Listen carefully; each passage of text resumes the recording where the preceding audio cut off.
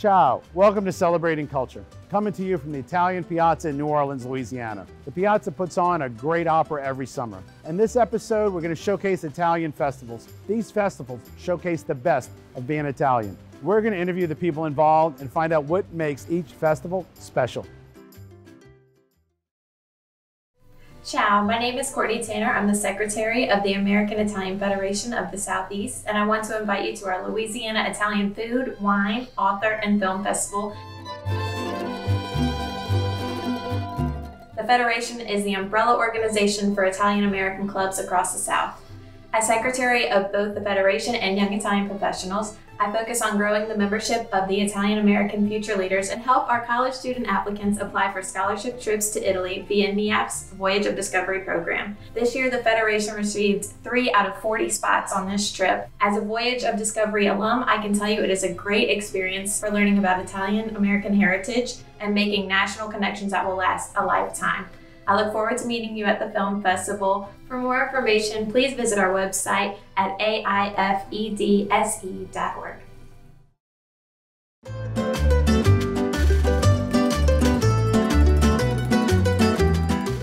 Hi, welcome back to Celebrating Culture. We're coming to you from the American Italian Cultural Center, which is next to the Piazza. And I'm with Frank Maselli, who's the chairman. Frank, welcome to the show.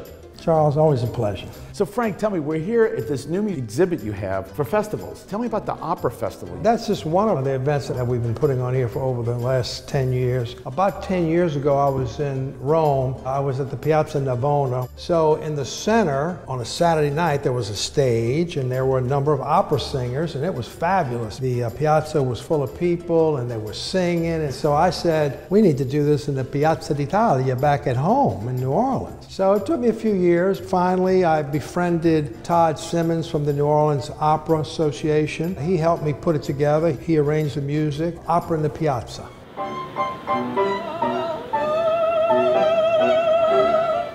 And I'm with Todd Simmons, who's the executive director of the JPAS. Todd, welcome to the show. Thank you very much. Glad to be here. So, Todd, you have been performing at the opera that we do every summer for many years. Tell us many about years. it. Came out of Frank's idea to put on a show here in the Piazza. Frank, of course, with his father and himself as well, have a huge, long history with the opera. And at the time, I was the executive director at the opera here in New Orleans. It just grew from there, and we started putting on this show every summer. And we were also doing some in Christmas as well. How many performers will be on stage? There will be four singers, and then there's going to be three instruments, two violins and a cellist. Two hours of programming, where the first hour is all your top hits of opera, and the second half, which is all Broadway hits. And a crowd response, how's that been? Well, that's been incredible. They just love it. You do much outdoor opera? Actually, no, because opera singers don't necessarily enjoy singing outside because their voice is an acoustic instrument and it needs a building to be in. When you do the outside events, you're using microphones and you're doing a different kind of event. I mean, this is not a full blown opera. These are like the gems of the operas.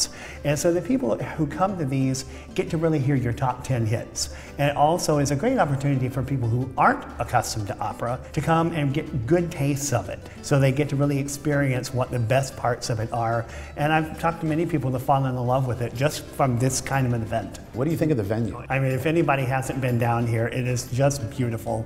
The sound is wonderful, the quality is great, and it's just incredible to sit here in this open space with, particularly now that it's been renovated, it's just even more incredible. And if somebody wants to find you by a website, jpas.org.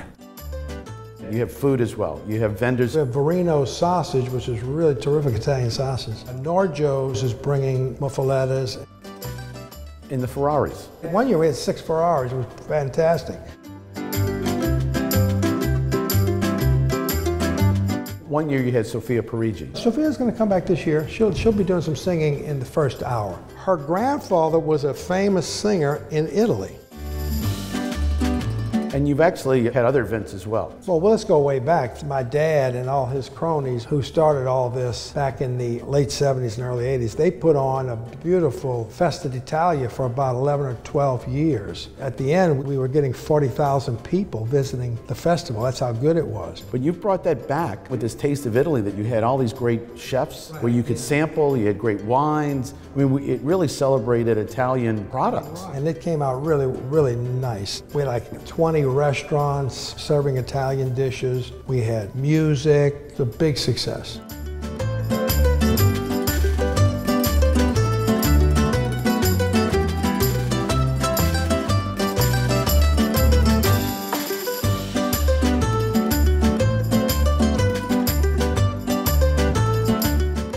Know, about 12 years ago when my dad passed away, I tried to figure out what we were going to do here with this beautiful cultural center. It had been built and renovated back in the early 80s, so it was time in 2009 10 for an update. Well, then over the last four or five years, we've renovated the entire place, created a beautiful jazz exhibit. We created a beautiful event space on the second floor. And then on the third floor is our new museum, totally redone. Our old museum was an artifact museum, so it was just items to look at. This is a narrative museum. It tells a story of the Italian, Sicilian immigrants coming here, why they left, what they faced when they got here, the trials and tribulations, and where we are today. You're doing so much here at the Piazza. If somebody wants to know more, is there a website? Our website is the American Italian Cultural Center.com. Great. I want to tell you, I just love what you've done, the energy you've brought back. I know your dad would be very proud of what's going on here. The legacy has continued and it's just done so much to be the hub for the Italian community. There's so much to do and enjoy being Italian, or if you're not, enjoy what Italians bring to America. Stay tuned. We'll be right back with more of Celebrating Culture. Ciao a tutti, and greetings from Italy. My name is Patrick Ross Campisi, and I'm the first Vice President of the American Italian Federation of the Southeast, as well as the President of the St. Expedite Lodge of the Order ISDA. And I'd like to invite you to join us at our Louisiana Italian Author Wine, Food, and Film Festival.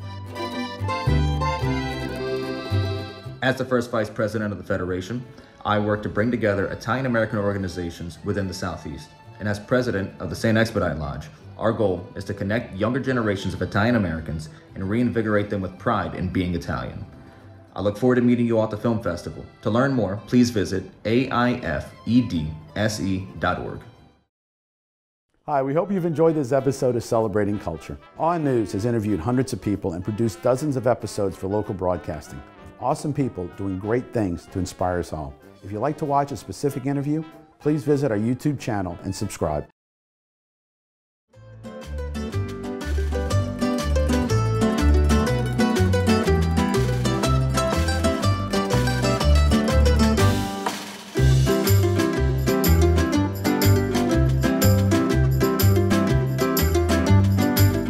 Hi, welcome back to Celebrating Culture. I'm here today with Mark Suberville, who is the founder of the Muffuletta Festival in New Orleans. Mark, welcome to the show. Thank you, Charles. Appreciate it, man. This is great. So you've started the Muffuletta Festival, but before we go there, the history of the Muffuletta, so people understand this big piece of bread. This uh, hubcap-sized piece of bread is one of the um, uh, kind of oldest and historic, I guess, foods in New Orleans, and this is one of those original food items here in the city. Mark, there's a lot of stories and controversy in the Italian community on the origin of Muffuletta. In fact, one of my good friends says that his great uncle married a lady named Rosalie Muffuletta who was making the bread, and that's why it was called the Muffuletta. And then when she married into the Lanassa family, the name Muffuletta disappeared. But I understand you have a story about the Ruffino family. It started in like 1890 with the Ruffino family that made the, the, the muffuletta. Now, the muffuletta is the bread, not necessarily the sandwich. Decatur Street, that was Little Palermo, and you see a lot of signs that say the original Muffuletta. That's right. And I'm, I'm glad that people do sort of claim the history of the sandwich because if not,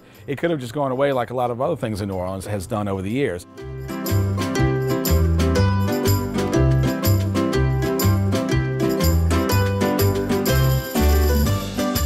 Now you've actually got also the mini muffulettas. When people come in and they buy a tray of mini muffulettas, it's like, you know, where, where, are you going? Well, it's going to my grandma's house. It's my grandma's 90th birthday, you know. Or, sure. Where are these going? Well, these are going to the game, or these are going to.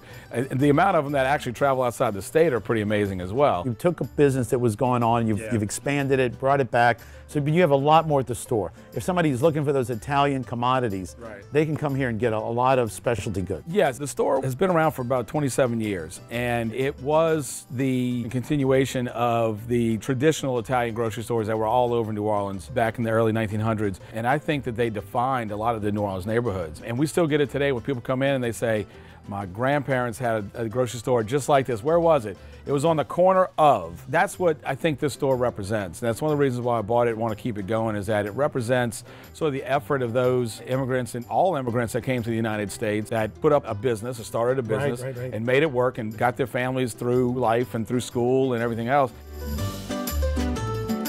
You your Muffuletta Festival. And you've taken it, you started in uh, 2017. In 2018, you expanded it. So what we're trying to do with the festival is, it is centered around the Muffuletta, but that's very symbolic of the food heritage in New Orleans. And that's, that's kind of the purpose of it. Being able to have people explore a food product like breaking a wheel of cheese, that's exciting because we're not only just tasting cheese and eating cheese. We're breaking open a wheel of cheese that's been cured for a very long period of time. When people experience that, they don't forget it and they appreciate food products Sure. more, you know? You had the entertainment, you had the gift shops, you had Italian Yeah. desserts, Right, yeah. Ferraris. Yeah, the Ferraris. And, and you're next to the train tracks. I think that adds ambiance. There were a few trains Yeah. that pass. You have the Bocce Club of Metairie Yeah. puts on a display Yeah. here.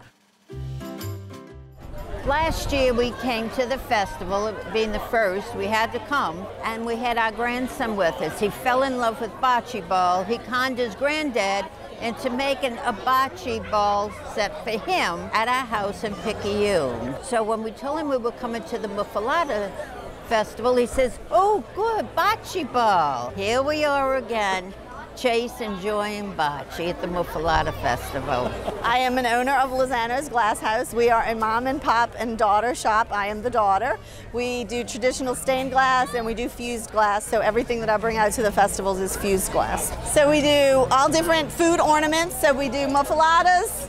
We've done pizza, Italian ice snowballs, spaghetti and meatballs, po' boys, king cakes, red beans and rice, Hubig's pies, coffee and beignets, and snowballs. There's a lot of culture besides just the food. It's, it's, it's an environment. It's a feeling. You know, people tell me when they come in the store, it's like, you know, it feels different in here. It really does. it's, Uh, it's this intangible that you really can't get anywhere, I think, you know, and that's what we're trying to promote as well with the festival and with the store. It's a great place to come if you don't have time to get to downtown New Orleans and you want to get some Italian food. It's a little bit slower paced out here than the French Quarter is, and I think it just gives people time to sort of be together. Um, the patio is always available for people to sit on, and they have a good time out here. If someone wants to find you guys, you got a website? Absolutely, it's Nor-Joe, that's N-O-R-J-O-E dot com, um, and you can always call the store. It's uh, 504 833 9240. And of course, Facebook, Instagram, we're, we're everywhere. Mark, thanks for Charles, being on thank the you, show man. and thank This you for what you're doing for the Italian community. Absolutely, enjoying it. All right. Stay tuned we'll be right back with more of Celebrating Culture. Ciao, my name is Lisa Ingram, but my heritage name is Pizzolata. I am a vice president of the American Italian Federation of the Southeast. The Federation is the umbrella organization for Italian American clubs across the South. As vice president of activities, I work to help promote the festivals and events of our member organizations. I want to invite you to our Louisiana Italian Food, Wine, Author, and Film Festival. I love meeting you, sharing our heritage, and knowing the celebrations of your organization. Let's come together as an Italian community and support each other. If you are searching for Italian heritage and want to be added to our efforts, visit our website, aifedse.org. Celebrating Culture is brought to you by Awe News. Awe News also produces New Orleans Insider Tours, which are 10 self guided tours of New Orleans and Louisiana. To download the apps, all you have to do is point your phone at the flow code in the camera mode, and you're ready to really experience Louisiana.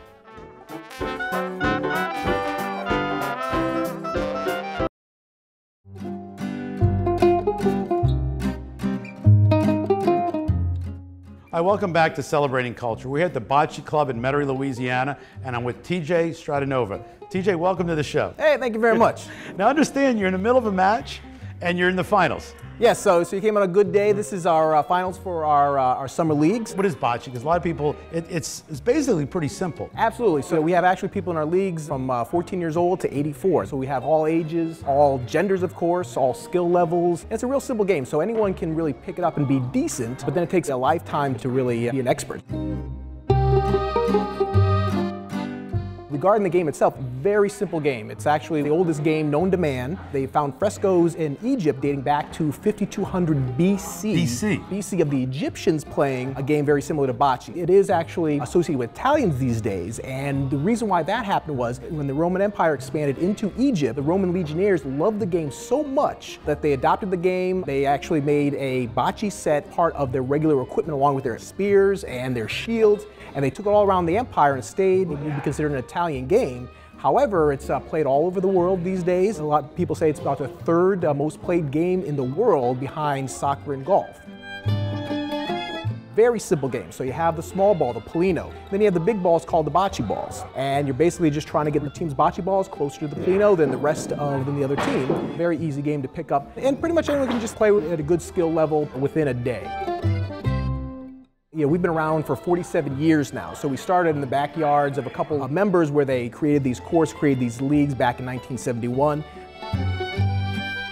The club itself hosts a lot of other events. You had Republic Day events here. Yes, absolutely. We also have a full kitchen, a bar. We have seating for up to 100 people. Yeah, besides trying to make some money for the club and help out the other Italian organizations by doing more and more events here.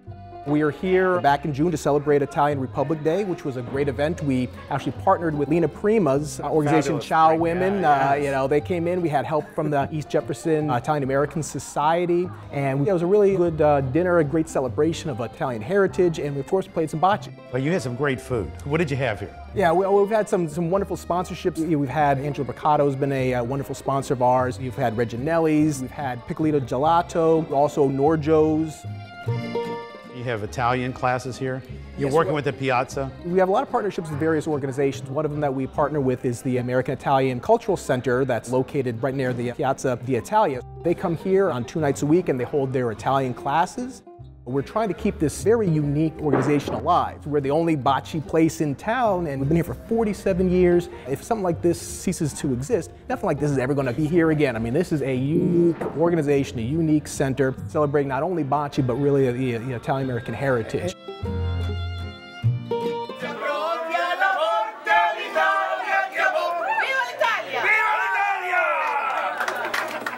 I can imagine right now you probably need to be mentally getting ready for your championship match. Yeah, this is a big, yeah, this is a big deal. So we have a wall of fame over there of all the champions. I haven't been on there yet. So 12 we'll years, and this might be the time. uh, this, this might be it. So if somebody wants to get in touch with the club, where do they go? We have a Facebook page. You know, search Bocce New Orleans. You're going to find us. So what we do is we post all of our events, all of our leagues, our open nights. Uh, most Thursdays when we're open, it's five dollars for anyone to come to play bocce. Well, TJ, I want to thank you for being on the show, and I want to hope you hit that Pallino every ball that you throw this this match. All right, I'm getting up. on that wall of fame. I'm telling you, Charles. All right. All right. Thank you. We'll be right back with more of Celebrating Culture.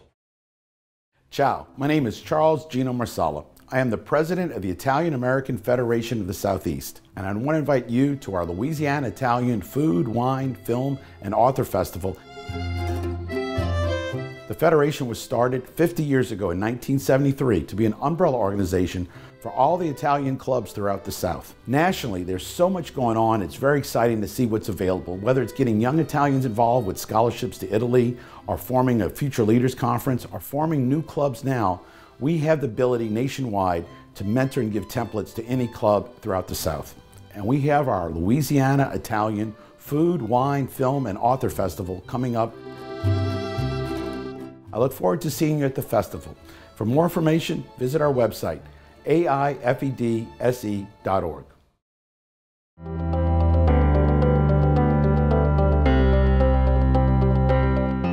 Hi, welcome back to Celebrating Culture. We're here today in Metairie, Louisiana Andrea's, and I'm with Lisa Ingram, who's the president of the Elenians. Lisa, welcome to the show. Thank you.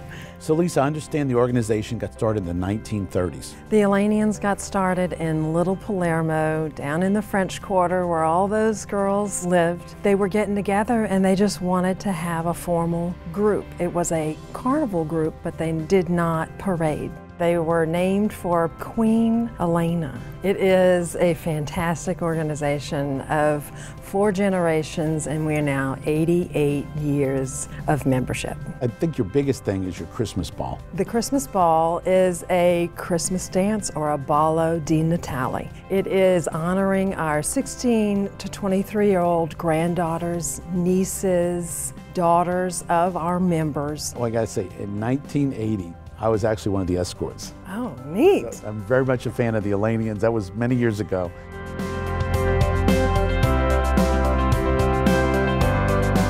So tell me, you guys do a lot. I saw your scrapbook. We have four meetings a year, some demos of cooking. You're making cookies for Christmas. Italian child looks forward to Italian Christmas cookies. That's right. We love to try and bring back those nice arts that the Elenians do in their baking and bring that back to those who might not have gotten those tricks of the trade from their grandparents or mothers.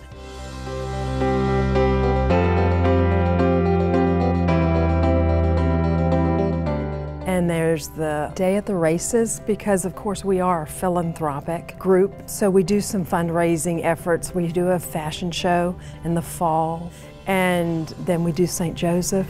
Then we do main crowning. So we just kind of enjoy all those traditional events that the Elenians have enjoyed.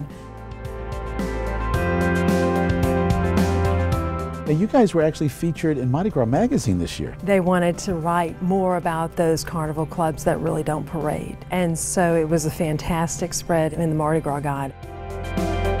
You guys took the lead on a new event called St. Joseph's Jazz. So it was really welcome to have a place to enjoy coming together and creating the St. Joseph altar.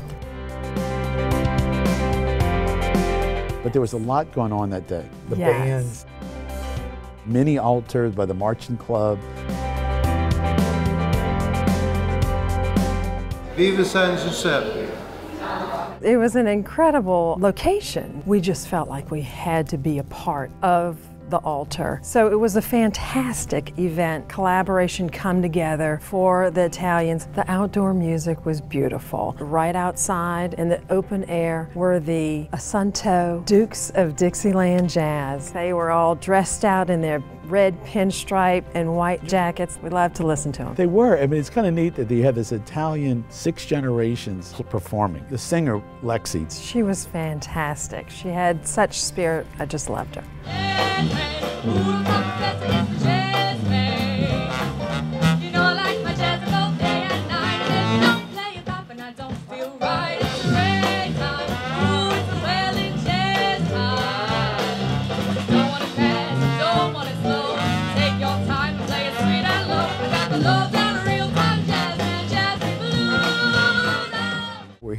In Metairie, Louisiana, and we're at Moe's Chalet. And I'm with Lexi Assunto, who's one of the best performers I've heard. Lexi, welcome to the show. Thank you so much. I see you seem like you're having a lot of fun performing and being the fifth generation of your family's band. I am. It's great. It's always a fun time up there, and people love to see us keeping the legacy and the tradition alive. You played at the St. Joseph Jazz Festival at Homeless House. Homeless House was great. It was a beautiful day. We had a nice turnout. I had my family there and my daughter as well. The amphitheater is beautiful. They have the gardens out there below the stage, and then they had the memorial altar for St. Joseph Day set up. They had a bunch of people out enjoying the music.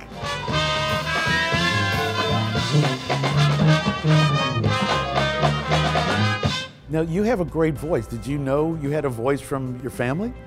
I was always singing as a child. I grew up in my Aunt Betty's house, the Duchess of Dixieland, and she was always singing jazz and teaching me how to harmonize and do melodies with her, and just family reunions, things like that. But I was always a little, I was always a little shy to get up on the stage, so it's been a nice little change of pace. I grew up with my Uncle Dino showing me all of these videos of my family performing and the coats and all the, you know, everybody dancing and my Aunt Betty.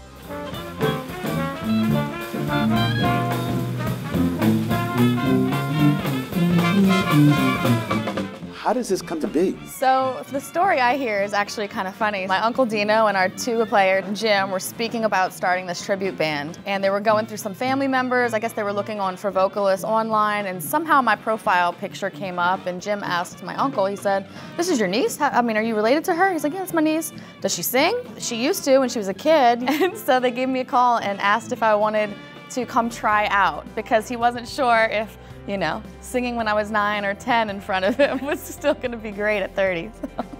It's kind of great working with the family still, too, huh? yeah, it's great. My Uncle Dino is wonderful. He's always kept the legacy alive for us and my siblings, and we've always known the history and have grown to appreciate it, so it's really wonderful being full circle and being able to keep it alive. Do you imagine one day doing a duet with your daughter? She has actually come on stage a couple of times, and I mean, we do duets every day in the car, and um, so she's a little shy though, like me. So maybe, maybe in the future, I don't know. Now, if somebody wants to know more, is there a website? yeah, so it's asuntodukestribute.com. Lexi, I want to thank you for being on the show. Thank you so much. So, if somebody wants to know more, do you have a website or Facebook page? We do have a Facebook page.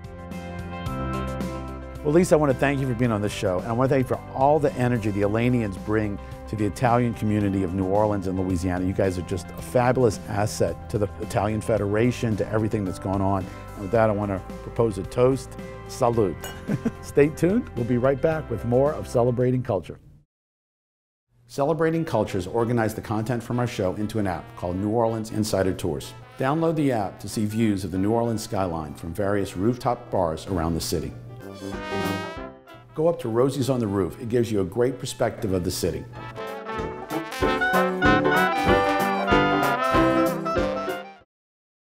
Hi, welcome back to Celebrating Culture. We hope you've enjoyed this episode on the numerous festivals that are put on by Italian organizations. Complementing that are the activities of the societies, and those societies function all year round with many other smaller activities. It's a great way to transition the culture and heritage to future generations. If you'd like to find out more about a specific organization, please contact us. And also, there's a big debate about hot or cold. Um, all I can tell you is you don't want to get in the middle of one of those fights. That's all I can tell you. I mean, I literally almost had, we were going on the news one day before the Muffuletta Festival, and the, the debate came up in the hallway outside. I almost had to break two guys apart, man. About which way to get a muffuletta, hot or cold? Oh man, the colds are like they're just you don't you don't insult them I by like hot. suggesting it hot. I can tell you this. You know what it means if you're eating a muffuletta for breakfast? Hmm. It means you're hungover. But, uh, And it's just the E L E N I A N C U L U B. I don't know what you want me to do. I want you to know that I'm wearing a pin here, and my pin is Rosie the Riveteer, and it says, We can do it. And Rosie the Riveteer is an Italian lady who got a letter from her fiance who was overseas and said, We need more airplanes over here during World War II. And her and her partner knocked out 4,000 rivets in a day. She was so motivated that we can get this done. They heard about what she was doing. She became the model for Rosie the Riveter. And I have that Rosie the Riveter uh, poster in my girl's room.